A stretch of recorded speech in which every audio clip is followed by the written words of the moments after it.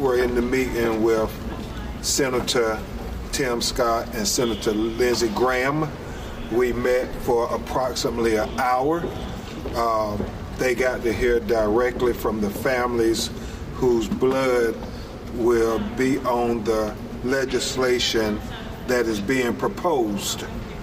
They listened intensely.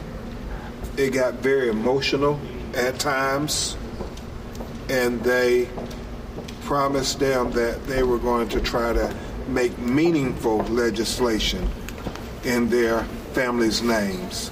So this was about them understanding that this is very real to all of us, but it means more to these families than anybody else because that legislation will literally have the blood stain of their loved ones.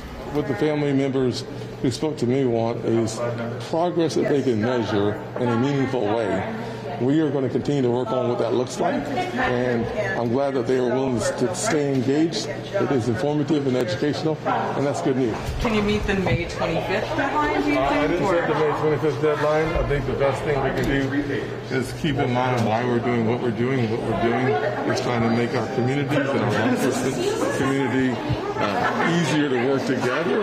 And I think as long as we keep that as our focus, we will work expeditiously to get to a solution.